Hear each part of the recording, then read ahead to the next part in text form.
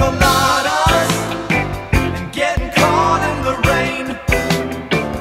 If you're not into yoga, if you have half a brain, if you like making love at midnight in the dunes on the Cape, then I'm the love that you've looked for.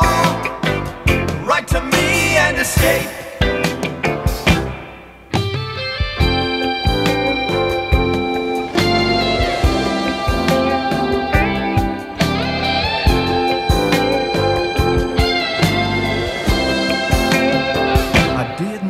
About my lady.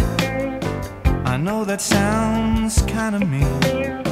But me and my old lady have fallen into the same old old routine. So I wrote to the paper, took out a personal ad.